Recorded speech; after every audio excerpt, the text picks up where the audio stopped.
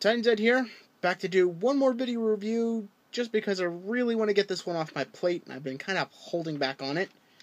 Transformers Prime, Arms Micron, AM24, Silas Breakdown, or Breakdown, Silas, but I prefer the term Silas Breakdown, as Silas is in control. Um, now, this is my first Arms Micron I'm reviewing. Wouldn't be the first Arms Micron I've gotten. I got the Vehicon repaint, or Vehicon Jet repaint, as well as the third repaint of this mold. I don't have a War Breakdown, unfortunately. The only site I found that's still selling them is um, uh, TF Source, and they want a ridiculous $86 for it. Yeah. I just settled for the repaints instead. Now, he does come with a little Arms Micron uh, uh, praying mantis called Magi, is how it's pronounced in English. Uh, Magi or Maju in Japanese. I'm not sure how that's pronounced. It's one of the few I don't know how to pronounce right. It's supposed to be a praying mantis. Eh, out of the three arms microns I've built, this is easily the weakest. Uh, his little things are just very loose and gangly, and it's it's just not a good one. To top it off, I don't know what his weapon mode is supposed to be. You transform him, you, you fold the arms back, you fold this back, and you put these forward. And I, for the life of me, cannot figure out what this is. I would originally guess it was a stabbing weapon, but or a taser, but that doesn't really strike me as Silas's weapon of choice. You know, someone like him deserves a gun. Um, and this is something I actually wanted to bring up with both the Silas Breakdown and the Nemesis Prime, since these were built by Mech, who don't have a complete understanding of Transformers technology. I very well doubt they'd have a complete understanding of ARM's Micron technology. So it would make me doubt that they could make a proper arms micron. And my idea in my head would be kind of cool is they make more of an arms micron mutant, like the old Beast War mutants that had two beast modes and a robot head that sticks out, but it does not have a robot mode. And where it has two weapon modes and maybe a robot head stuck in the middle you can find halfway through a transformation of one. And I thought that would be something so cool to do. And yeah. But still, it's not a, this one. Eh, it's okay. I don't have the Nemesis Prime. I really do want him, and his actually looks kind of cool. But this is his. The only difference between him and say War Breakdown is the vacuum metallized, very shiny front bumper piece. Uh, this is the only major change next to the head made. Uh, as you can see throughout the body, you have these kind of damaged, cut looks uh, on the instructions, it only tells you where to put like the Decepticon symbols and a lot of the and a lot of the um, main decal stickers. Yes, they come with stickers. It's incredibly frustrating to put on. Parents, uh, do note these are these Japanese ones were more built were more atoned for uh, the adult collector rather than a child. So yeah. Um but yeah, these a bunch of these were occluded on the set. They allowed you to put them on wherever you wanted. So I stuck a few kind of throughout the truck mode and the robot mode. So it kind of looks like he is damaged, like he did in the show. Um, speaking of which, Silas became this after his failed Nemesis Prime project, Project Chimera, was defeated by the real Optimus Prime. And thanks to uh, uh, Agent Fowler fighting him.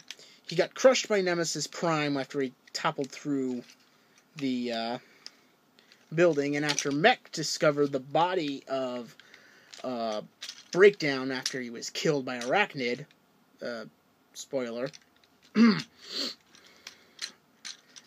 uh, oops. He uh, got his got his I would guess his entire body transferred inside uh breakdown, it was never really made clear how much of his torso is actually inside. And speaking of which, inside here there's a little gray, extra gray piece that War Breakdown and the Swerve mold don't have, where it is Silas inside that what I guess is the Power Master control harness. But yeah, that's that was a nice addition. They didn't have to put that in, but they made sure they did. Oh wait. Eh. So when he did that, he kind of went. He kind of gave his mech scientists a case of uh, the murder to pretty much uh, decided he wanted to work with the Decepticons. It didn't work out too well for him in the end after he kind of played his trump card, and it failed miserably. Um, we do see him later in uh, Beast Hunters. He's one. He is uh, one of Knockout's experiments, and he's experimenting the synthesized energon formula on him, and it's not working out too well for him, especially after they add a little dark energon. Uh, he eventually uh, breaks free, runs around, finds Airachnid, tries to, and when he gets this synthesized energon in him with the dark energon infused with it, it kind of turns him into a pseudo vampire slash zombie uh, transformer, which is kind of awesome. Um, he gets out. Originally, we don't. We originally we think that Airachnid manages to get away without being turned, but at the end of the episode, we find out she is one of those things is still living on Cybertron's moon. Um, yeah. Uh, but at the end of the episode, he or the midway through that episode, he dies by Airachnid's hands. She kind of tears up his entire torso until he just yeah and dies. So yeah, but still, this is an awesome mold. Honestly, I would have preferred in the show if Silas managed to escape without being turned into a zombie, vampire thing, and rebuilt Nemesis Prime and started making mass production Vehicon drones for him to control, and him start attacking both sides, both Autobot and Decepticon. I think that would have been a much more awesome idea. It could have led to some really cool power struggles uh, in the show. But yeah, uh, now he does have a really good head mold. It color wise, it doesn't follow the show too well, but mold wise, it follows it nearly perfectly with like the extra eyepiece that was put back in after Silas kind of stole it from Breakdown. Um, my only complaint, uh, yet again, is the arms micron. I swear this has got to be the weirdest pairing.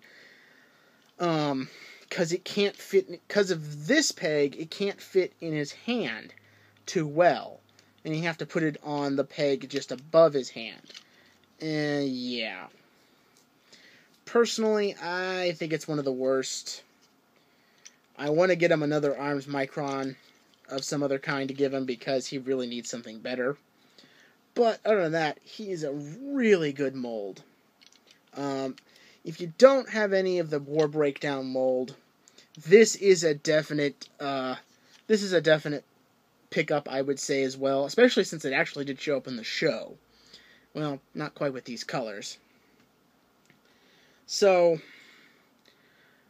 but still, it's pretty awesome. I recommend it. Uh, I recommend it for collectors. For children, not so much. Like I said, he has a lot of stickers, and a child is going to have a lot of trouble getting some of these on unless the kid somehow knows the exacto knife trick.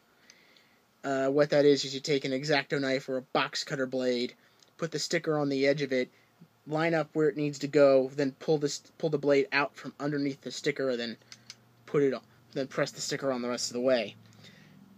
If the kid can't do that, he's gonna have a hard time putting all the stickers on here. Um, I really think Japan marketed this for more these figures more for collectors than they did children. Um, because this is a little model kit practically.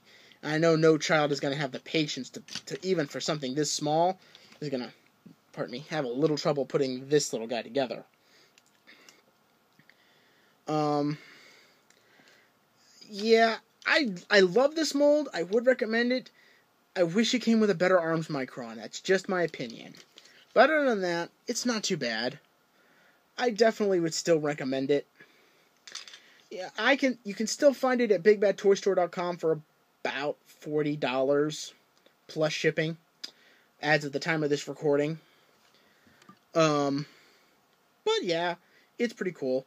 I recommend it. So until next time, this is Titan Ed saying I'll see ya when I see ya.